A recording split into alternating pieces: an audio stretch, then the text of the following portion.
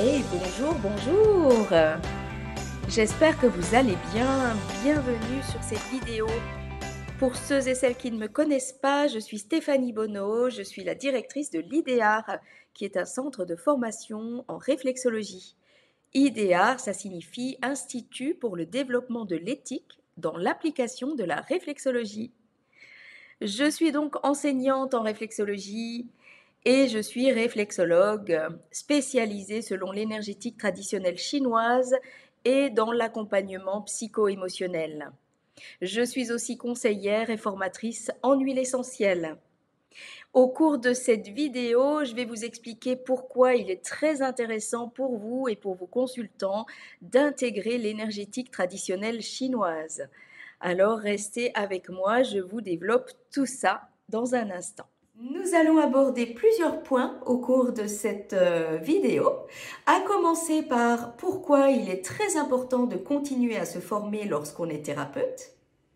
Et ensuite, je vais développer euh, les points essentiels euh, que va comporter ce perfectionnement Introduction à l'énergétique traditionnelle chinoise que propose l'IDEAR. Je vais vous parler des poux chinois, du yin et du yang, des cinq éléments et euh, comment vous allez pouvoir stimuler les zones énergétiques. Le dernier chapitre portera sur comment s'inscrire, comment nous rejoindre pour faire cette formation. Pourquoi continuer à se former lorsqu'on est thérapeute? Continuer à se former, c'est faire preuve de dynamisme, de motivation et même de passion pour son activité. C'est euh, faire preuve d'une ouverture d'esprit et c'est euh, montrer l'envie que l'on a de toujours se perfectionner dans le but d'apporter les meilleurs services possibles à nos consultants. Et à ça, les consultants sont très sensibles. En fait, c'est leur donner de la valeur, de la considération.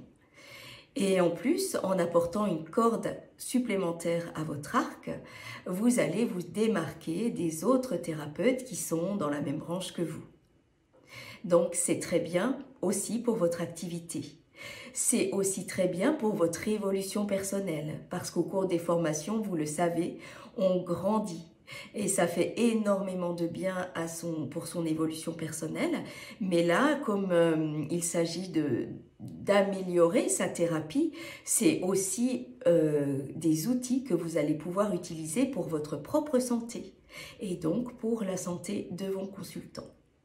Donc euh, je, pense que la liste euh, n'est pas finie. Il y a encore bien d'autres points qui peuvent argumenter le fait de continuer à vous former. Mais en fait, je vous invite vraiment à venir nous rejoindre pour ce perfectionnement parce que vous verrez, il vous apportera vraiment de nombreuses clés. Nous allons dès le départ aborder les poux chinois. Alors, les poux chinois, à quoi ça sert?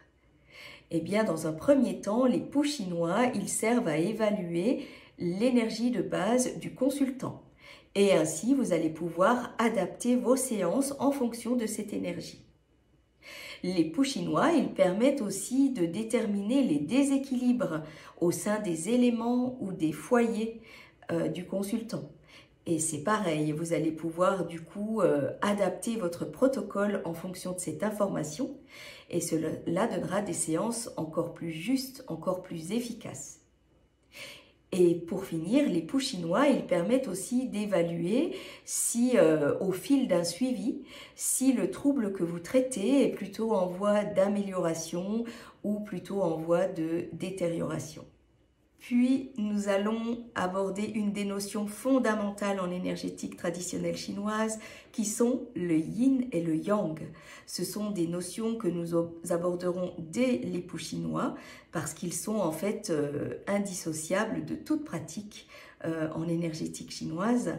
Et euh, en fait, nous allons détailler les principes yin et du yang. Nous allons apprendre comment déceler une dominance, si c'est plutôt une dominance yin ou plutôt une dominance yang, euh, selon les troubles, les symptômes qui sont décrits par les consultants, et puis de manière à voir comment nous pouvons apporter l'équilibre. L'énergétique traditionnelle chinoise n'existerait pas sans les cinq éléments. Nous allons faire les liens entre les systèmes physiologiques et les cinq éléments, parce que les soins que nous allons apprendre à prodiguer ont pour but d'amener l'équilibre yin-yang au sein de chaque élément, ainsi que l'équilibre des éléments entre eux. Et là aussi, les poux chinois vont nous donner de précieuses informations. Ainsi, grâce à toutes les informations que nous avons pu récolter, grâce aux poux chinois, euh, s'il s'agit d'un trouble de type yin ou de type yang et dans quel élément il se situe, nous allons apprendre des manipulations de manière à rééquilibrer la dimension énergétique. Voilà, je vous ai donné les principales informations, il me semble. Euh, maintenant, si ça vous intéresse de rejoindre cette formation, n'hésitez pas à me contacter. Et vous avez aussi sur la slide qui accompagne cette vidéo le site de l'adresse du site sur laquelle vous trouverez plus d'informations et vous trouverez mon numéro de téléphone direct si vous souhaitez avoir plus de renseignements. Cette formation, elle se déroule sur Montélimar sur trois week-ends euh, avec un maximum de participants de six personnes et il est encore possible de la rejoindre. Euh, les dates sont le dernier week-end de janvier. Euh, le 27-28 janvier, le 2 et le 3 mars, et le 6 et le 7 avril.